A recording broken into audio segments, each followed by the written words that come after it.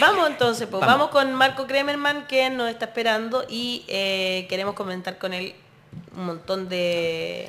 De la coyuntura económica que está pasando todo, ¿no es cierto? La inflación sigue golpeando el país, aunque parece que ha bajado un poquitito la actividad económica. Eso?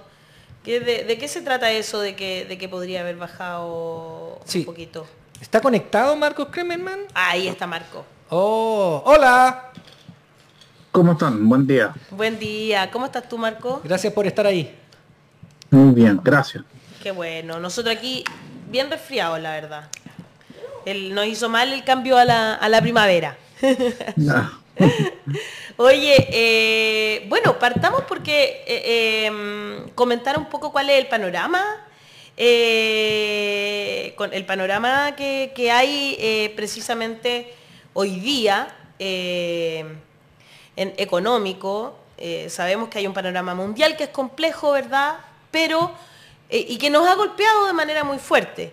Eh, se han subido las tasas de interés muchísimo, pero no sé si se ha logrado finalmente bajar la inflación, que era supuestamente la idea, ¿no es cierto?, de subir, de subir las tasas de interés, etcétera, y hemos terminado todas, todos, todos pagando más. Entonces, eh, ¿Cómo se ve la situación actual? También hubo este fin de semana algunas noticias que decían que había habido algunos cambios más o menos positivos, como eh, entonces, ¿cómo ves tú el panorama para el bolsillo de chilenas y chilenos? Bueno, nunca ha sido eh, muy auspiciante el panorama para los bolsillos de los hogares chilenos si esta conversación la tuviéramos dos años atrás, tres años atrás o cinco años atrás. Claro lamentablemente. En momentos de bonanza tampoco los hogares se han visto beneficiados por el crecimiento eh, y la riqueza que se ha en Chile. Y en particular, en este periodo las noticias son un poco más complejas. Hay un cuadro eh, bien, bien difícil a nivel mundial. Eh, las economías en general en distintas partes del mundo están desacelerando, eh, hay distintos tipos de diagnósticos y análisis, aquellos que indican que el mundo no ha salido de la crisis que se eh, detona con la crisis subprime en el año 2008-2009 y ha seguido permanentemente en crisis, solo que anestesiada principalmente por el uso del dinero a través de sus distintos mecanismos, ya sea a través de la deuda pública, de la deuda de los hogares o la deuda de las empresas. Y en particular en este periodo tenemos la combinación de los siguientes factores, tal como ustedes bien decían. Tenemos presiones inflacionarias eh, que no se veían hace varias décadas a nivel mundial. En particular en Chile eh, tenemos una inflación acumulada en 12 meses que es de 13,7%, algo que no veíamos en 30 años prácticamente. Eh, y si bien en relación al periodo anterior, cuando se había constatado la inflación de agosto, hay una ley de disminución de la inflación a 12 meses. En agosto llegamos a 14,1% de inflación acumulada en 12 meses y ahora en 13,7%. No es un indicador para cantar victoria. Hay una, eh, un punto de inflexión, no se cambia la tendencia porque mes a mes veíamos cómo aumentaba la inflación acumulada en 12 meses, esto no paraba. Y eh, en septiembre por primera vez vemos que hay un punto de inflexión y en vez de seguir aumentando hay un pequeño retroceso. Eh, y uno esperaría que de acuerdo a las tendencias en los siguientes meses hubieran otros retrocesos más, pero siempre hay que ser muy cauteloso, cautelosa en las ciencias sociales. Recordemos que la economía es una ciencia social. Por tanto, esto depende de muchos factores. Y los factores externos hoy día tienen una volatilidad mayor a la que observábamos en periodos previos. La guerra, los efectos secundarios de la pandemia, lo que está pasando en China con la política de COVID-0, entre otras cosas nos eh, obliga a ser muy cautelosos y decir que si bien es una noticia que no es mala, la inflación que observamos en septiembre era lo que se esperaba a nivel de analistas, la inflación del mes puntual fue 0,9% y la inflación acumulada en este año, en nueve meses, es de 10,8%, lo cual sin duda nos lleva a proyectar que lo más probable es que la inflación de este año termine por sobre el 12%, quizás por sobre 12,5% hay que estar esperando lo que suceda a nivel internacional. Ya tenemos eh, los primeros eh, consecuencias en, Chile, cuando uno revisa las cifras de empleo, que a veces cuesta mirarlas, cuesta mirarlas porque el indicador de la tasa de desempleo, así bien cerradita, no se conoce la tasa de desempleo abierta, que solo informa cuántas personas no tienen empleo, están buscando activamente empleo y no tienen empleo, no se mueve de manera muy brusca y da cuenta que el 7,9% de las personas en el último trimestre móvil disponible, junio-agosto, no tiene empleo en términos absolutos. Pero cuando uno observa y hace un segundo clic, lo primero es que se da cuenta que por primera vez, si lo comparamos no con el trimestre de 12 meses anterior, sino con el trimestre pasado, la cantidad de empleo genera baja. Y eso ya es una señal de alerta. Y en segundo lugar, algo que es más relevante, en muchos países, como incluso Estados Unidos, Canadá y otros, se informan indicadores complementarios. Chile, ojo, también lo hace, el INE lo hace, pero prácticamente yo no recuerdo que una autoridad pública comente los indicadores complementarios que el INE publica regularmente. Y el indicador que a nosotras, a nosotras en la Fundación Sol más nos preocupa, se llama la tasa de subutilización de eh, la fuerza de trabajo. Técnicamente se llama la SU4. ¿Y qué es lo que mide? Mide las personas que no tienen empleo, cero horas, pero también mide las personas que, por ejemplo, tienen una pega por poquitas horas de trabajo, 15 horas, 18 horas, 10 horas, necesitan trabajar más horas, pero no encuentran ese trabajo de más horas. Eso se llama el subempleo o jornada parcial involuntaria, y también agrega a aquellas personas que aparecen como inactivas o inactivos, vale decir que no tienen un empleo, ni tampoco aparecen como desempleados porque no están buscando activamente empleo, pero que están en un concepto que se llama la fuerza de trabajo potencial. Entonces son personas que probablemente no están buscando activamente un empleo porque no pueden salir a buscar empleo, no tienen con quién dejar a sus hijos, hijas, papás, mamás, esto es un problema que recae lamentablemente principalmente sobre las mujeres. Y cuando sumamos la fuerza de trabajo potencial, las subempleados, los iniciadores disponibles y el desempleo a seca, llegamos a 2.055.000 personas con problemas de desempleo total, parcial o potencial. Y la tasa de subutilización del trabajo o el empleo llega a casi 20%. Entonces hay que estar monitoreando esos indicadores que son mucho más representativos de las personas que tienen problemas o podrían tener problemas de desempleo en el país. Perfecto, qué, interesante cómo, cómo se va... Por eso uno, como que a veces uno siente que, lo, que los números macro no tienen que ver con la realidad, pues, por las cosas que está explicando Marco, porque no mm. todos los números se, utilizan al final, ¿no? Ya. Y se transparentan, que, que finalmente lo más, lo más heavy. Que... Hay muchas buenas razones para preocuparse del mercado laboral innegablemente. Hay una recuperación eh, de, los puestos de trabajo, pero se han cambiado eh, puestos eh, de trabajo permanente con salarios más estables por trabajo más informal o de poco tiempo, con salarios menores relativamente. Entonces es una recuperación, pero se han, eh, se han, reemplazado trabajos de buena calidad con trabajos de mala calidad. Entonces el mercado laboral sigue siendo eh, bastante débil y sí, estoy muy de acuerdo con Marco con el tema de la subutilización de la fuerza de trabajo. es preocupante la situación del mercado laboral. Ahora, si uno aumenta la tasa de interés de forma dramática, como lo ha hecho el Banco Central de Chile, eso hace más caro las líneas de crédito, ¿cierto? Y si es más caro endeudarse para las empresas, es más eh, difícil para ellos contratar a más gente eh, y para pagar eh, mejores salarios. Entonces, evidentemente, la política monetaria, la política del Banco Central de subir tasas de interés, tiene un efecto negativo en la recuperación del mercado laboral. Pero lo hacen de todas formas. ¿Y por qué lo hacen de todas formas? Porque si sí, porque cuando uno sube la tasa de interés, eso también limita la inflación. Lo que sabemos es que la inflación afecta aún más gravemente eh, los, eh, eh, los salarios reales en Chile. ¿no? Tenemos los estudios de Mario Matos, ¿no? el historiador económico de la Universidad de Chile, que va a la línea de salarial en el tiempo por, por siglos. Y se nota que periodos de alta inflación son los que más generan esas dramáticas bajas en, en, el salario de los trabajadores y trabajadoras chilenos. Entonces hay una preocupación para proteger los salarios de no permitir esa alta inflación. Entonces hay como una tensión en la política económica entre preocuparse por la inflación porque eso afecta a los salarios y eh, que, implica la necesidad de subir las tasas y al otro lado la necesidad de bajar las, eh, tasas para no perjudicar eh, los altos niveles de desempleo. Entonces, es una situación complicada. Lo que yo quería preguntar entonces, Marco, es más allá del diagnóstico que hay preocupación fuerte en el mercado laboral, la situación es muy compleja. ¿Estás de acuerdo con lo que está haciendo el Banco Central y lo que está haciendo eh, el gobierno con su presupuesto? A ver, en primer lugar, tal como dice Hassan, efectivamente, eh, uno de los grandes objetivos discutibles, eh, en el sentido de que sea el único objetivo que tiene que cumplir un banco central, es eh, mantener los precios estables. Y para ma- mantener los precios estables, eh, tiene la herramienta que es la política monetaria, vale decir, subir o bajar la tasa de interés, la tasa de referencia o de instancia monetaria para la cual puede prestarle dinero a los bancos comerciales. Eh, y eh, lo ha hecho de manera muy agresiva. ¿no?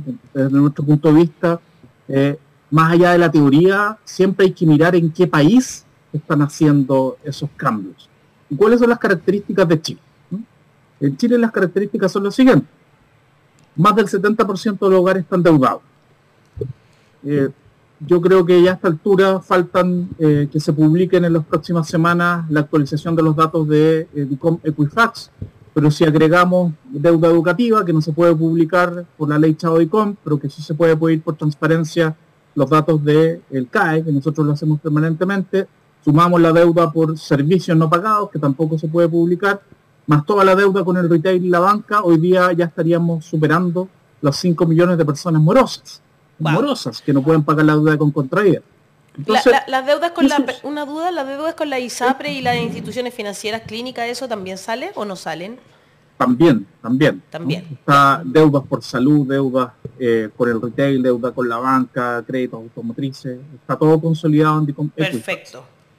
Entonces uno se hace la siguiente pregunta. Si bien, eh, en general, la mayoría de los bancos centrales del mundo están aumentando la tasa de interés para controlar estas presiones inflacionarias que eh, no las veíamos hace muchas décadas, los niveles de aumento son distintos.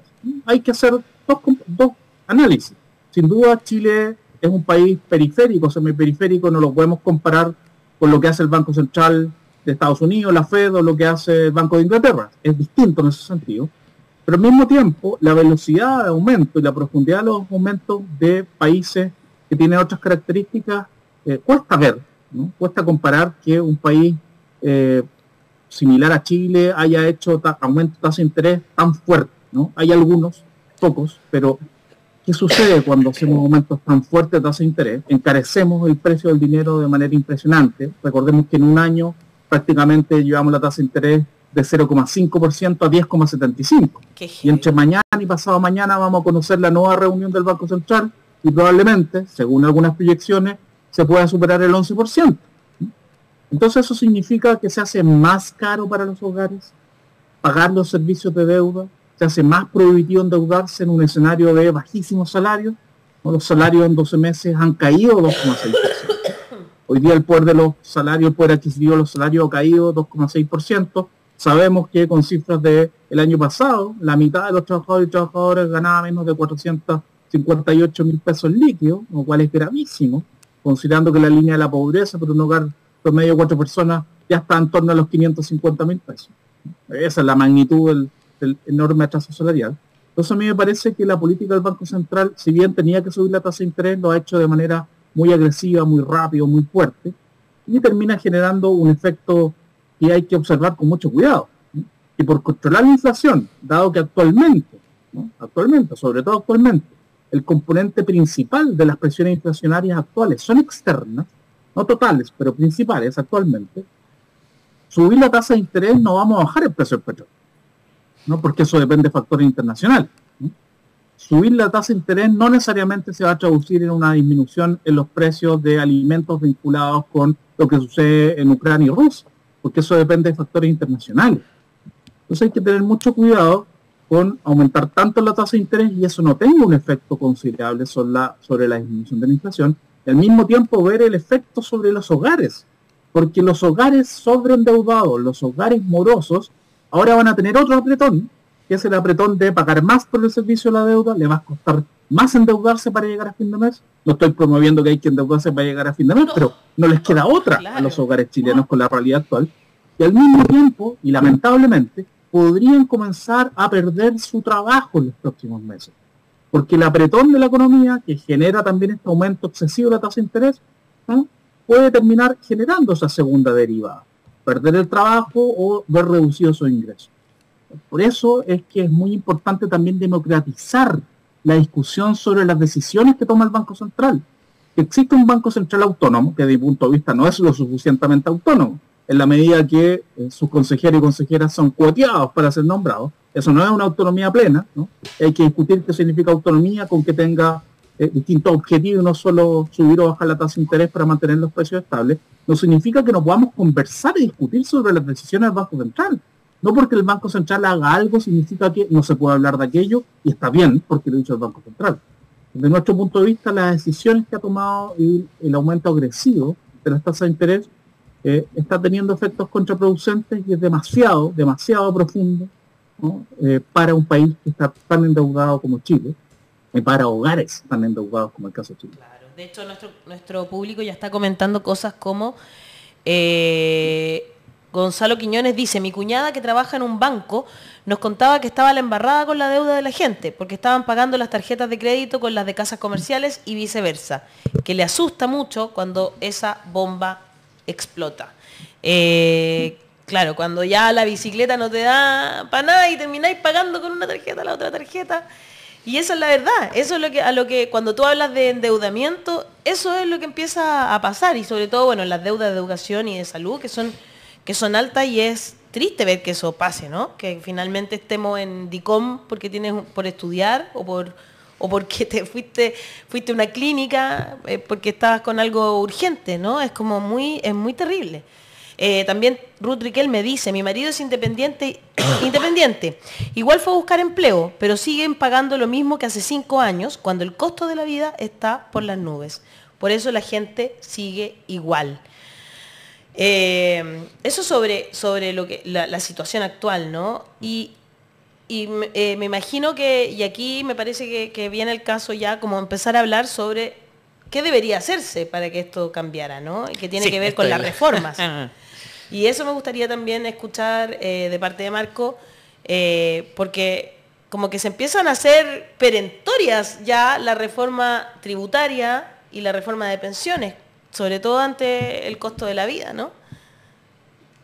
Exactamente, ¿no? E- Esta frase de no es el momento, hoy día se amplifica, ¿no? Nunca ha sido el momento para hacer ningún tipo de reforma eh, de cualquier nivel de profundidad. Siempre ha habido una oposición enorme para hacer reformas, sobre todo de carácter tributario, ni hablar de reformas de pensiones que eh, normalicen el sistema eh, de pensiones chileno, lo transformen o al menos generen un componente de seguridad social que no tiene, entre otras cosas. Pero desde mi punto de vista, justamente tenemos que hacer lo contrario. Hoy día la reforma tributaria es más necesaria que nunca. Recordemos, siempre es bueno recordar, que Chile hace cerca de 25 años que lleva recaudando lo mismo en términos de impuestos. Aproximadamente, puntos más, puntos menos, en torno a 20% o 21% de su Producto Interno Bruto. Lo cual es una anomalía dentro de los países capitalistas que en la medida que van creciendo, que van aumentando su PIB per cápita, van aumentando su carga tributaria. Entonces, cuando uno hace un ejercicio de comparar cuál debería ser la carga tributaria que Chile a esta altura de su PIB per cápita debiese tener, estamos más cerca del 30%. ¿no? Y este gobierno eh, propone una reforma tributaria que eh, ha tenido algunas modificaciones en términos de carga tributaria, probablemente llegar en torno a 24% del PIB, 25% del PIB. Entonces, para el 2025-2026. Entonces, algo que debería ser visto como una política de normalización, que incluso nos deja rezagados y nos hace esperar quizás hasta el 2030 o más para llegar a 30% del PIB, cuando ya en ese momento deberíamos tener una carga tributaria en torno al 35% del PIB, es vista y analizada como una reforma tributaria que va a generar problemas, que no es el momento para realizarla. Y eso nos va a traer gigantescos problemas. ¿Por qué? ¿No? El ministro Marcel, eh, en su diagnóstico y su análisis, sus proyecciones de política fiscal en términos generales, justamente ha mostrado que este año podríamos tener un balance fiscal eh, que nos genere un superávit. ¿no? Lo que no se veía hace bastante tiempo, ha regularizado las cuentas fiscales, entre otras cosas. Eh, y eh, ya el siguiente año volveríamos a un déficit, un déficit superior a 2% del PIB. ¿Por qué? Porque Chile hace mucho tiempo que lleva gastando más de los ingresos que tiene. ¿no? Y esto no es porque es un país que está derrochando dinero ni nada, nada que ver con eso. Es porque las demandas básicas, ¿no? las demandas básicas que tienen que ser satisfechas por el Estado chileno. Básicas me refiero a lo legislado hasta el momento. No estoy pensando en, Claro. en pensiones mayores, educación pública financiada correctamente, salud universal financiada correctamente, implican ¿no? más las ayudas coyunturales que se han necesitado realizar para ir eh, en apoyo a los hogares por pandemia, por crisis y por todo lo que se ha vivido, implica que el nivel de gasto público tiene que estar en torno a 25% del PIB. Pero recaudamos cuatro puntos menos. Entonces tenemos que sincerar esa situación. Algo que se escucha permanentemente, eh, para gastos permanentes se requieren ingresos permanentes, no se necesitan más parches y por tanto para no tener más parches hay que elevar nuestra carga tributaria y esta potencial campaña nuevamente de que una elevación de la carga tributaria va a generar estancamiento de la economía, se van a perder empleos, se va a reducir la inversión, es insostenible. Es insostenible porque desde mi punto de vista lo que se plantea eh, con los cambios y las indicaciones que se han hecho en la reforma tributaria es una reforma muy moderada, de normalización, de normalización media, ni siquiera de normalización plena, donde las principales personas que van a ser grabadas, eh, eh, los principales contribuyentes que serían grabados con mayores impuestos, están dentro del 1% o el 0,5% de las personas de mayores ingresos y que pagan muy pocos impuestos en Chile. Recordemos que según nuevos estudios, el 50% de los contribuyentes hoy día en Chile de menos ingresos paga una tasa efectiva más baja que los 1.315 contribuyentes de mayores ingresos en Chile que tienen un ingreso promedio de casi 900 millones de pesos al mes. ¿Cómo no normalizar aquello? En cualquier país de la OECD que tanto nos gusta mirar, miran nuestro sistema tributario y ven esta anomalía, ¿no? ven este problema de falta de densidad democrática profunda. Entonces hay que corregir en primer lugar aquello y después tenemos que generar una carga tributaria adecuada. Si no lo hacemos ahora, no, no, no van a haber los recursos para poder apoyar a los hogares cuando venga la desaceleración más profunda de la economía y no van a haber los recursos tampoco para poder establecer un conjunto de derechos sociales elementales, mínimos civilizatorios básicos en salud, en educación, en pensiones. Esa es la amenaza que tendría el país, es el problema que tendría el país si es que no eleva la carga tributaria, ojalá en un plazo corto o mediano. Claro. César Leali dice, mientras las familias se deben endeudar para poder vivir, los grandes capitales siguen ganando cifras astronómicas en YouTube. Gloria Galvez dice, es un círculo vicioso, perverso y en contra del trabajador chileno. Ruth me dice, acá contratan conserjes inmigrantes sin su situación solucionada porque pagan pésimo, sobre todo cuando se trata de cubrir turnos. Patricio Torres dice, tengo dos trabajos, en uno gano 450 lucas y otro donde me pagan 365 y así todo no me alcanza la plata. Y eso que pago, arriendo, servicios y comida, de entretenimiento ni hablar.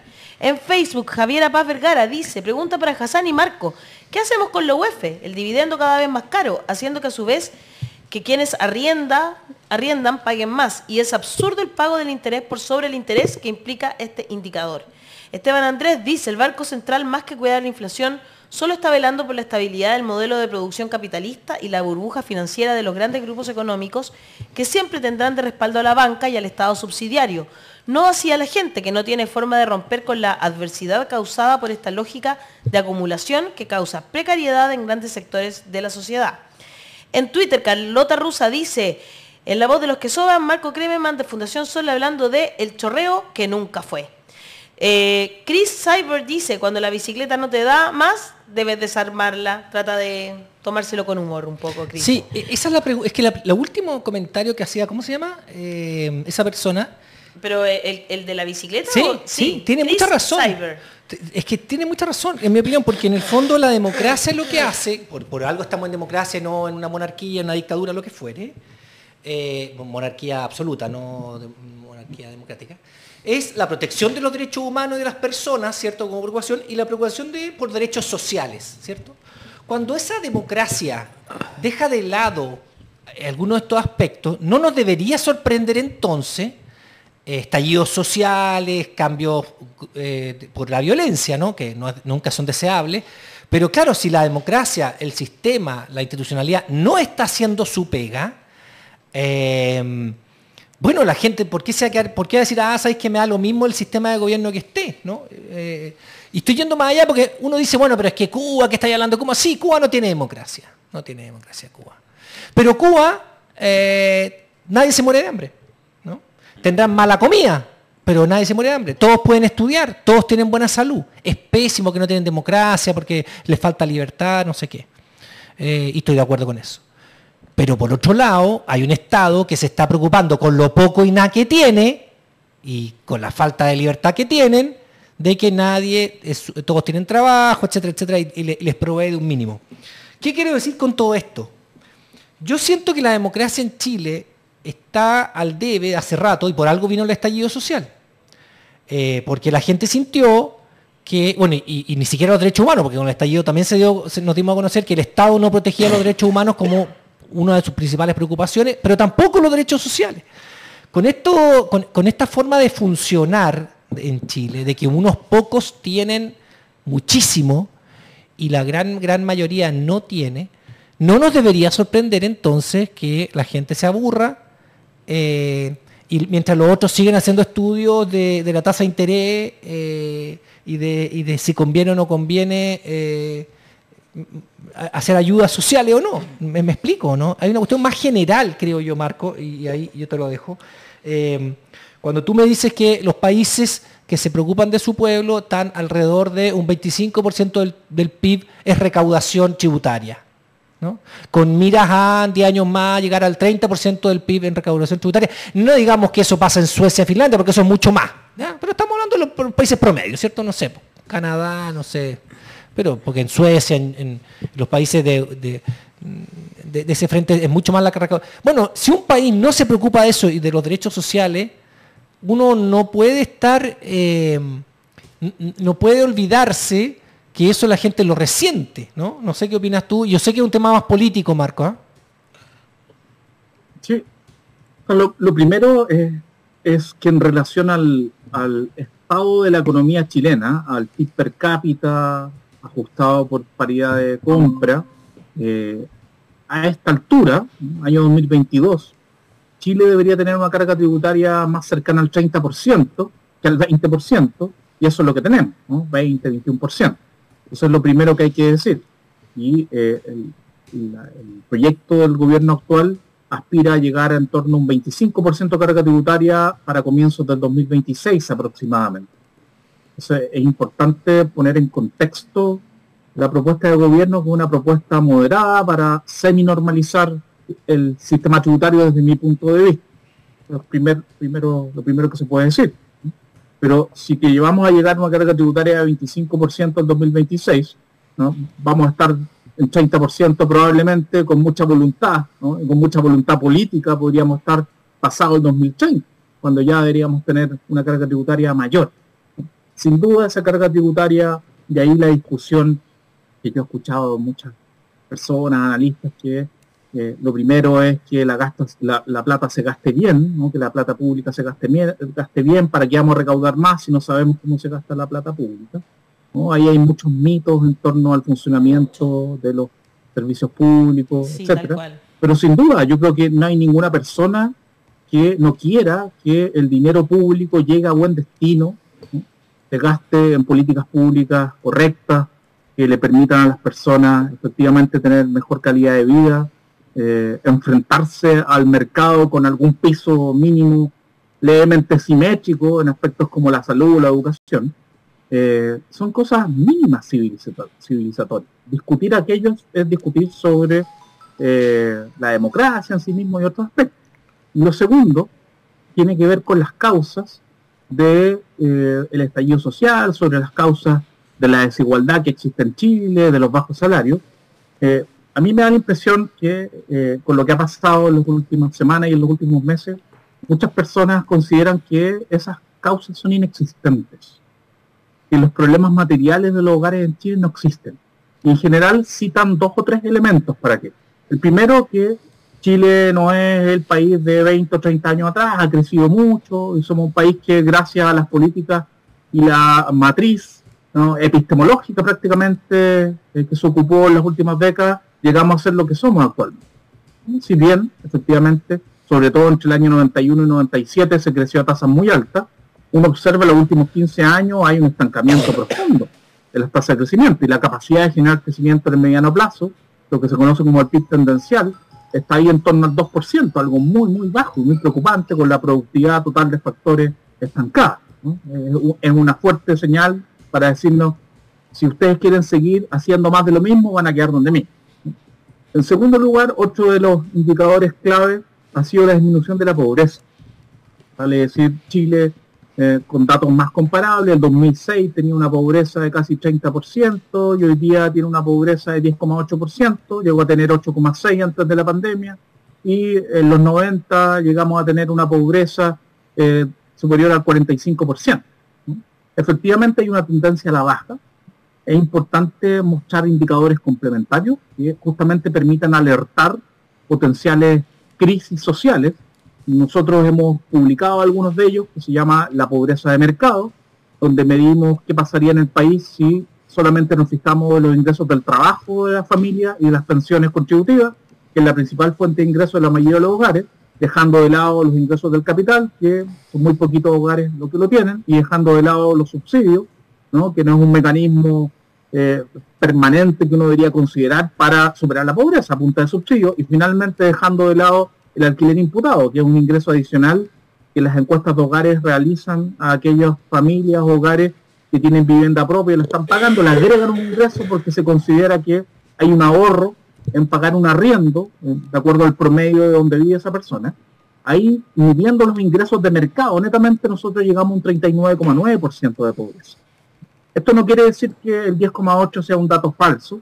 Lo que quiere decir es que, tal como hasta el propio Sarkozy, convocando a Stiglitz, y otros intelectuales lo alertó hace cerca de 15 años, ¿eh? ahí entre medio de la crisis subprime, no se puede seguir utilizando los mismos indicadores para medir algo que no se ve, ¿no? que no se ve que es la precariedad, que es la vulnerabilidad, que es la pobreza oculta. Entonces cuando uno ve que cerca del 40% de las personas no cuentan con los ingresos del trabajo o las pensiones contributivas suficientes para sacar a una familia de la pobreza, la situación es gravísima. Es gravísima y justamente después nos permite extrapolar que en caso de alguna situación difícil no fue un 10% ni un 15% de los hogares afectados, sino que son mucho más. Lo tercero, de acuerdo a lo que preguntaba Daniel, es que no podemos vanagloriarnos de que las generaciones actuales están en mejores condiciones que las generaciones anteriores, los cuales es correcto, en el sentido que tienen más acceso a comprar bienes y servicios, porque lo han hecho a través de la deuda. Eso no es sustentable en el mediano y en el largo plazo. En algún momento nos rebota, ¿no? Nos rebotó, muchas personas no se dieron cuenta, se sorprendieron, dijeron, ahora sí vamos a compartir los privilegios, ahora sí hay que hacer los cambios, y rápidamente dijeron, en realidad no, y después dijeron en realidad aquí no hay esos problemas que nos están diciendo. ¿no? No, existen esos problemas, no existen esos problemas materiales porque las personas supuestamente pueden viajar en vacaciones, pueden comprar un auto que antes no compraban, pero no estamos mirando el nivel de endeudamiento. No estamos mirando esa línea roja y genera un problema no solo material, sino que un problema psicosocial gigantesco para la sociedad. Eh, Aló, aló, aló, aló. No sé que sí que está como raro. No, está bien, se te escucha. Ahora sí, porque lo moví. Eh, en YouTube, Nancy Riquel me dice, mi dividendo se incrementó en 50 mil pesos en 10 meses. Gloria Galvez dice, Stingo, estamos en la dictadura del empresariado. Carlos Mondaca, lo que dice Marco, ponerlo en calles y redes sociales, etcétera, y apoyar la idea del gobierno con la seguridad social. 10% sigue como ahora, más 6% nuevo, del cual 3% para aumentar menores de hoy y el otro 3% para mejorar en el futuro. Paola Hernández dice dictadura empresarial, en eso estamos. En Facebook, Javiera Paz Vergara dice, ir al súper está rudo, a mí me choca, está todo caro. Ir a la feria está menos rudo, pero más accesible. Pero comer carne, el pan o querer comer verduras bonitas y frescas, comer variado es casi imposible. En Twitter, Víctor dice, cae y dividendos te los, te los cobran en UF, más intereses. Antes tenía ISAPRE en UF, pero la tuve que eliminar. Esto requiere reformas estructurales que el gobierno y Boric no tienen la voluntad de hacer. Karen GA dice, ¿pueden preguntar cómo explica que ya está todo colapsado en reservas nacionales para el fin de semana largo que viene? No hay plata, todo caro, no hay pega, estamos súper mal, pero restaurantes llenos los fines de semana, cines, mall, etcétera, todo lleno y de gente comprando o consumiendo. En Instagram, Carlos Negro 54 dice, muy buen programa, hablar con la verdad. Mientras tanto, los canales abiertos hablando del vestido y matrimonio de la Boloco. Prensa abierta, un desastre. No se preocupen, en la tele volvimos a los años 90. Para eso están programas como este. Hassan, Sí, yo estoy súper de acuerdo con todo lo que dice Marco como diagnóstico de, o radiografía del problema social y económico chileno. ¿no? Hay, mucha pobreza encubierta, hay mucha precariedad. Uh, eso es un problema estructural, o sea, en buenos tiempos también existe esa pobreza estructural porque hay un atraso salarial muy importante, pero además tenemos un problema de coyuntura donde en este momento son particularmente uh, malas las condiciones producto de, bueno, de, un año difícil de pandemia, los retiros de la AFP en lo interno y en lo externo, el problema guerra en Ucrania, las tasas de interés en el mundo, etcétera, etcétera. La pregunta es, ¿Qué podemos hacer frente a esto? Y Marco dice que es muy importante la reforma tributaria porque ya no estamos recaudando lo que debemos estar recaudando dado la riqueza del país. Perfecto. El problema es que no hay voluntad en el Congreso para avanzar en eso. Ya hay suficientes eh, diputados, diputadas, senadores, senadores que están votando en contra para seguir bloqueando esto. Eh, cuando existe una presión social, esos votos pueden cambiar. Um, en los años de la unidad popular se hizo una política macroeconómica, una política de la coyuntura muy expansiva para tratar de generar el apoyo suficiente para las reformas. Eso terminó bastante mal, crisis inflacionaria y todos los temas, y después un, un, golpe de Estado. La otra opción es ser responsable económicamente, altas tasas de interés, una política macroeconómica uh, muy cauta, con la idea de mantener la, la, inflación controlada, mantener la economía relativamente estable, con un riesgo de recesión y todos los demás, con la idea de que con esa estabilidad se va a poder generar uh, los votos suficientes para hacer las reformas estructurales de largo plazo que son súper necesarios. Bueno, el voto a favor del rechazo da la sugerencia de que esa estrategia tampoco funciona muy bien. Entonces yo, yo me quedo con la duda si existe la posibilidad, en tu opinión, Marco, de una política más expansiva de parte del gobierno y eso podría uh, ir empujando uh, con mayor fuerza las reformas que son tan necesarias. Sin duda es una pregunta de economía política clave.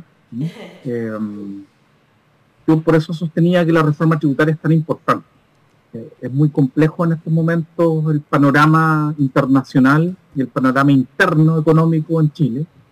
Por tanto, hay que mostrar evidentemente que eh, al tener más ingresos permanentes se van a poder financiar algún tipo de políticas expansivas sin generar un efecto sobre los precios, que ya están en un nivel bastante alto y aunque vengan en un punto de inflexión y comiencen a bajar en los próximos meses, de todas maneras creo que nos vamos a demorar varios meses más en bajar del 10% acumulado en 12 meses. Entonces, sin duda ahí hay un problema importante. Yo creo que eh, lo que tú mencionas, el apoyo social, eh, la organización social, siempre, históricamente, no solo en Chile, sino en cualquier país del mundo, es la clave. En la medida que eh, no existe organización, no existe información para presionar democráticamente eh, al gobierno de turno o al sistema político de turno, en este caso, pensando en el Congreso, no van a ocurrir cambios.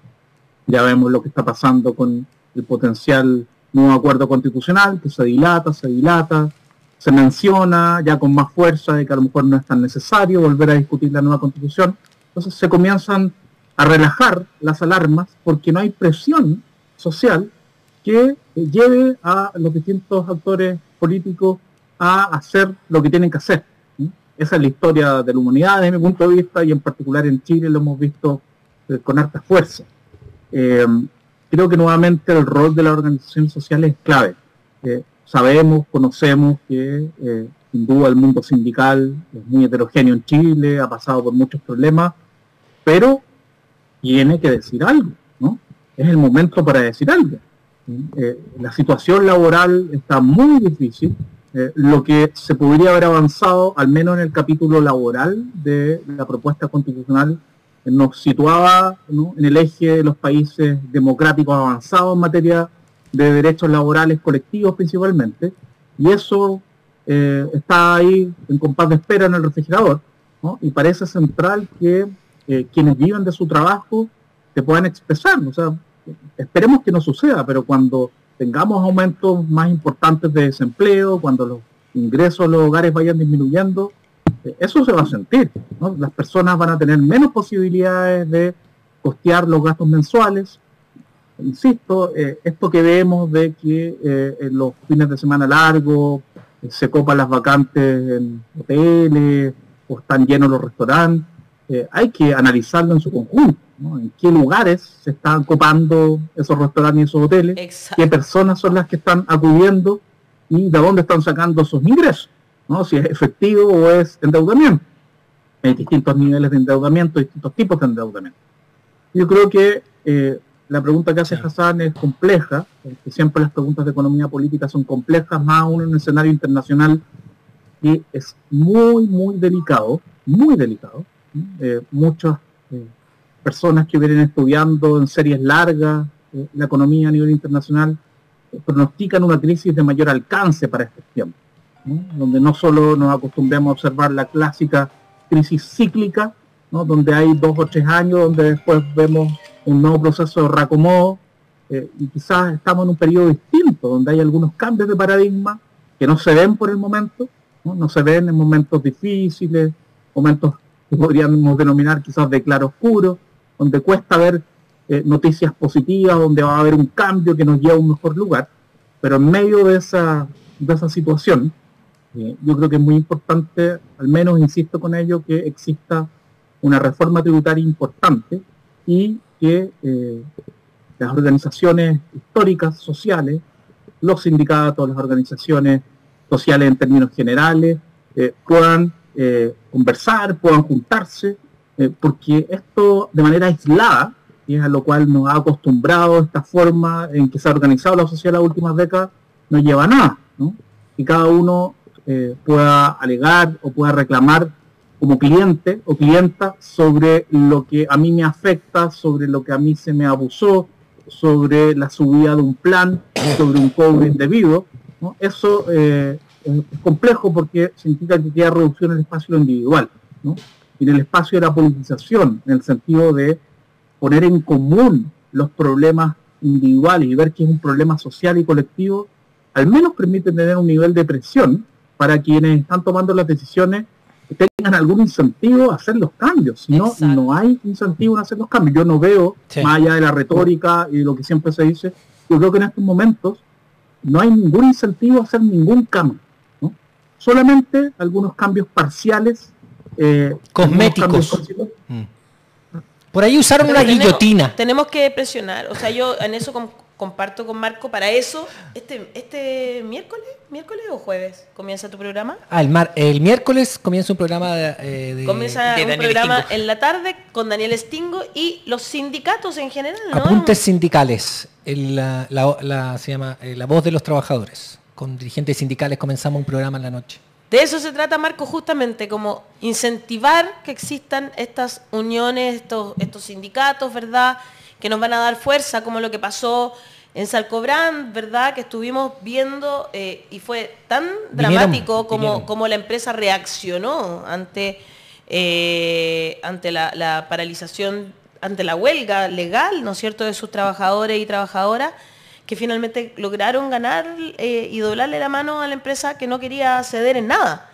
Y eran cosas, o sea, que a uno le parecería de perogrullo, ¿no? O sea, que, tiene que ver con, almuerzo, con cosas, pero que eran así de verdad impresionante y, me parece que es importante que hagamos hincapié en esto que está diciendo justamente Marco hacia el final del programa y Janet Muñoz dice, este fin de semana hice un pituto en una heladería y quedé plop cuando al pagar la gente cancelaba con crédito.